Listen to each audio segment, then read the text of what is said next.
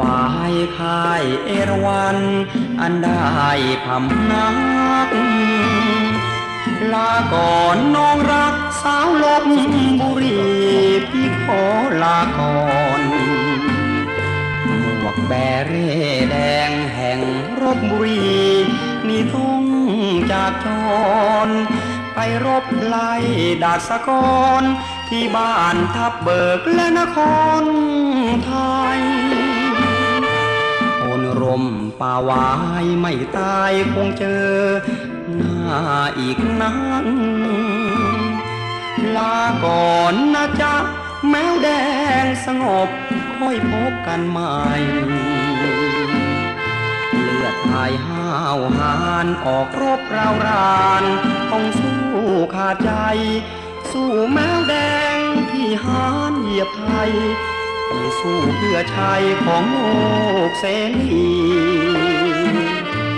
อยู่เพชรบูรณ์ต้องรบในป่า เวลาค่ำคืนที่ต้องกอดพื้นแทนแม่ควันยืนของพี่เสียงปืนที่ดัง ที่ได้ฟังแทนเสียงดนตรี ฟังเสียงร้องของข้างชะนีหนาวเหน็บลือดีจนแทบอ่อนแรงคนรมป่าวายค่ายเอราวัน อันเชี่ยวชาญยุทธมีราชน้องนุชเข้ายุทธตะปูมรบทั่วทุกแห่ง คนร่มไทยจากน้องเพื่อไปรบพวกแมวแดง ที่หานกล้า